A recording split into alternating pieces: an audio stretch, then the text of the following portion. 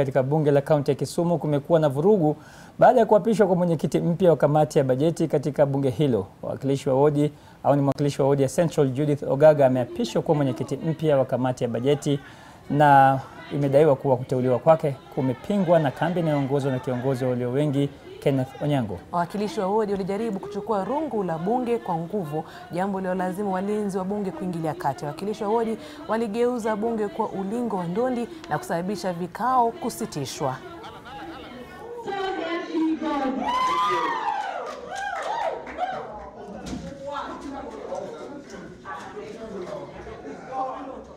Thank you.